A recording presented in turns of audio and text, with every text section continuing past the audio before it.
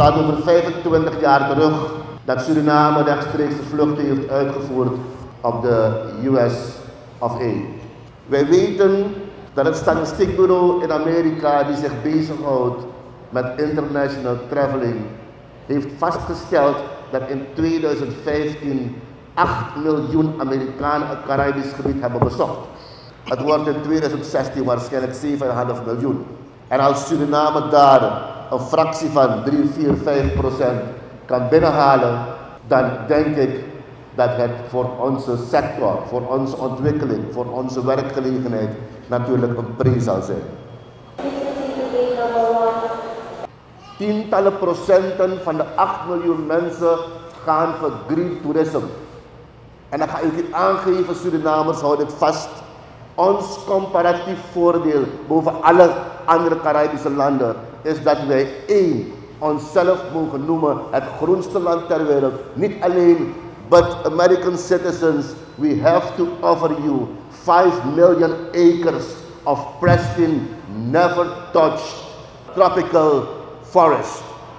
Please come to Suriname. We welcome you. We invite you. Please Gate number one. Ecotourism, green tourism, health tourism, wellness tourism, cultural tourism. We have a culturally diversified country.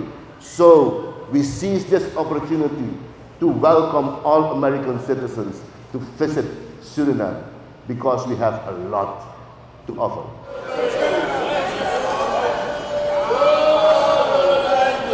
Ik wil ook, directeur SLM, één opmerking maken. En ik ga het hard zeggen.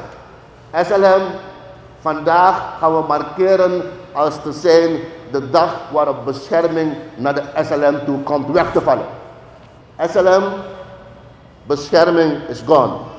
Wij gaan u wel ondersteunen, helpen, we gaan alles eraan doen om u aan te sterken, om uzelf te kunnen beschermen.